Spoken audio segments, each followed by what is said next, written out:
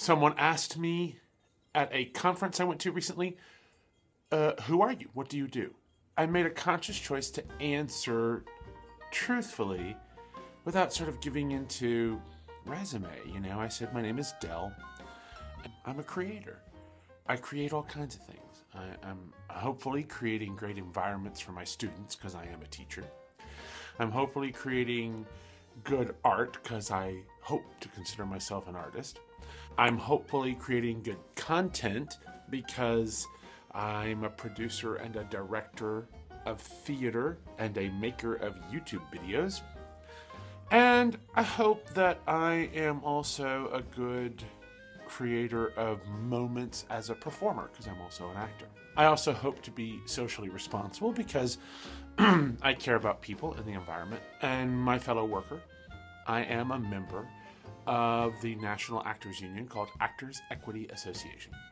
And I thought I'd tell you the quick story of how I got my equity card and how it relates back to taking students to see a show this weekend.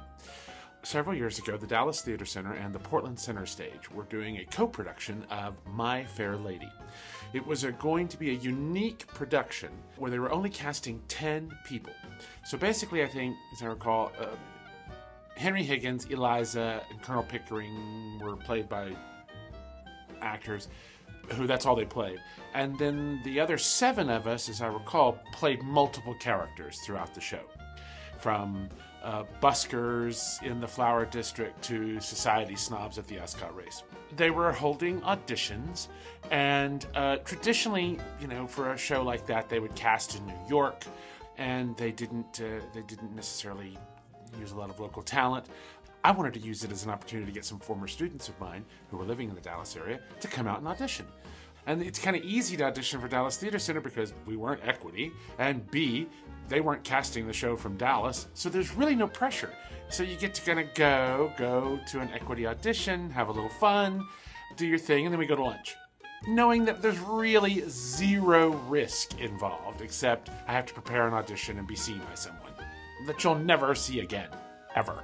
So I made some appointment to, to meet a former student there, and we were going to go audition.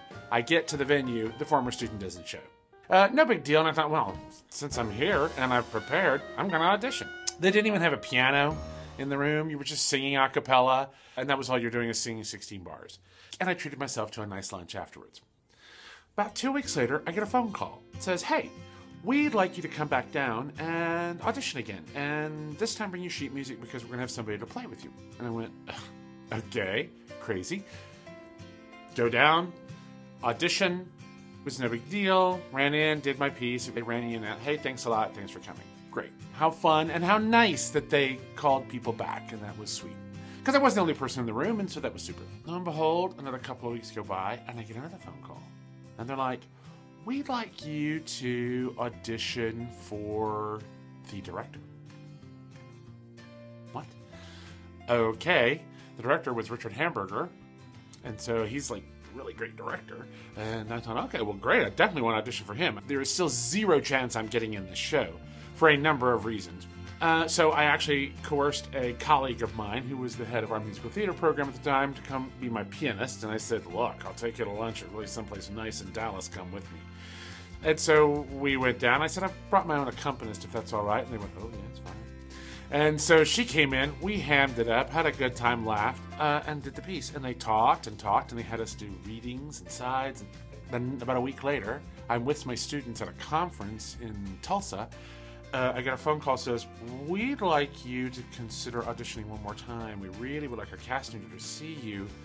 And I said, Well, I'm at a conference this weekend. I can't. And then next weekend, I go to New York. What do you mean you're going to be in New York? I'm going to be in New York next weekend. We're going to be in New York next weekend, says the casting director. What? Can you stop by while you're in New York and audition for our New York casting person? yes. Great. So I'm now in New York City. I'm there for an alumni event with my students who now live in New York.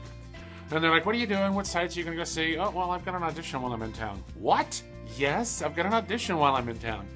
I go to the audition, I have a good time. Long story short, sorry, and they want to offer me a role as one of the people who plays lots of different roles. I was like, Are you kidding me? It was great. I have to speak to my university that I work at and and say, okay, so here's this opportunity to be in an equity production. Pretty much means I'm going to be gone most of the semester, and to their credit, the university and my dean were like, uh, yeah, of course you should do it. Uh, we'll work it out. And so I did it. I did the show, had a great time. We rehearsed and ran in Portland. Then we moved the show to Dallas and performed at Dallas Theater Center and had a great time there. Fast forward a decade later, and I'm at Dallas Theater Center this weekend with some of my students in my directing class, taking them down to see a double bill of uh, School for Wives and Medea happening on the same day with pretty much the same actors and the same director. Two completely different shows. It was amazing. Well, we're in the lobby, kind of hanging out between shows, and they have all these pictures from shows of the past and everything.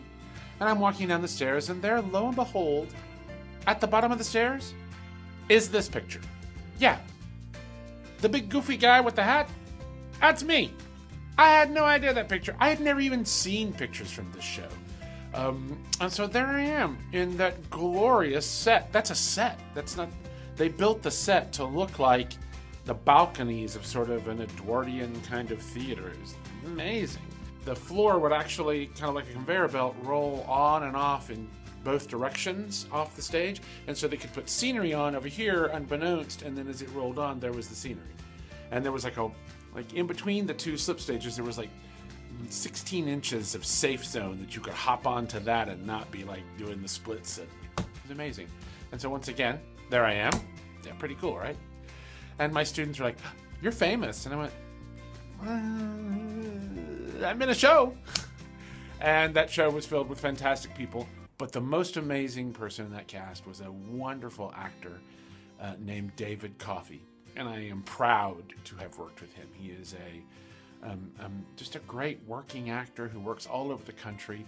He is a sweet, sweet, genuine, likable fellow, super talented, tells the greatest stories.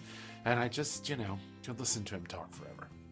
There's another whole part to that story that's very interesting, but I don't feel like telling it yet. I'll come back to it and tell that story. Then maybe a follow up video. Maybe this month. Talk to you later. Bye.